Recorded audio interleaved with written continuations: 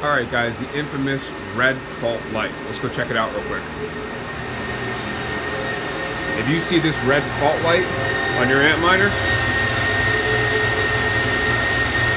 I'm to show you how to fix it right now. Alright, well you got the infamous red fault button on your Antminer.